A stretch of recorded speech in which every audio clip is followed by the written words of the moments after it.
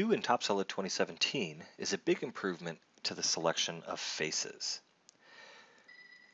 In fact, when you have to select multiple faces and they're not perfectly tangent to each other, it gets to be quite painful.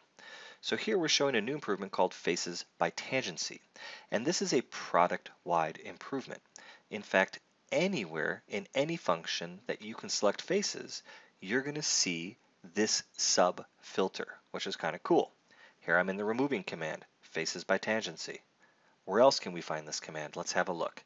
If I go to my shape pull down menu, if I go to other operations, pardon me, go to comparison first, then other operations, fill it by faces, hollow, thicken, anywhere in the software where you have to select multiple faces. Now, let's see how it works. Here I want to change the color. I'm going to set this to one degree for my angular tolerance. I'm going to pick a face. And you can see it finds nothing because those faces are faceted. So let's crank this up to 5 degrees. Oh, we got a couple faces. 10 degrees. Boom, we got a couple more faces. Let's set it really loose. See how far we can go. Perfect. Let's try one more time. How about 20? Boom.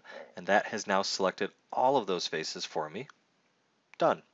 Let's keep going because I want to do that face as well as I want to do all the faces on the other side of the tail wing there. So faces by tangency. It's already at 20 degrees, so it's going to select that. Perfect. We're going to click OK. We're going to add this face. And like that, we have now quickly selected all the faces that we want to modify and change their color. Now, let's try it in a different command. How about we smooth the faces? Because right now those faces are pretty ugly. So yeah, I could go and select face by face, but that's no fun. Instead, what I want to do is I want to select all of the faces that are tangent to that face, right? So let's delete that. Let's go here and say face by tangency. Boom. And you can see it goes all the way up to the center there. Cool. Validate. Done.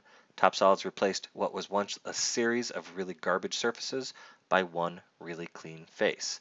Let's do it again. Select everything within that 20 degree tolerance and replace by a simple smooth surface. Nice. Let's have one more look. Maybe we want to remove this down here. So let's go to our removing command. I'm going to select by tangency all of those faces. Boom, it found everything. We're going to click OK,